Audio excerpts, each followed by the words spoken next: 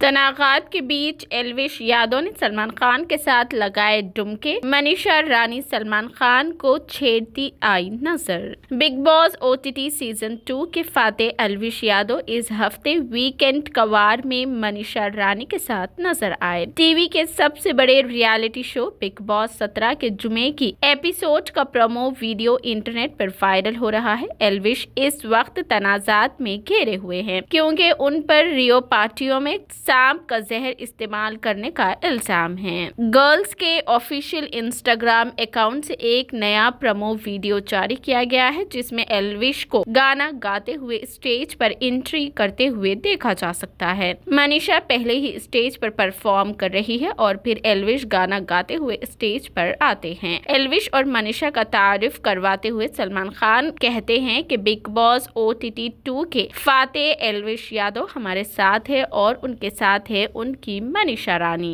हमेशा की तरह मनीषा छेड़छाड़ करती हुई सलमान खान को रोकती है और कहती है उनकी क्या होता है ये आपकी भी हो सकती है इस पर सलमान ने कहा अरे यार इसका मतलब है कि तुम दोनों साथ काम कर रहे हो ना जब मनीषा कहती है कि एलविश उनकी बहुत तारीफ करते हैं तो वो सिर्फ उनके डांस की तारीफ करता है वीडियो को शेयर करते हुए मेकर्स ने कैप्शन में लिखा एलविश और मनीषा रानी बिग बॉस के स्टेज पर आए अपने डैम से आग लगा दी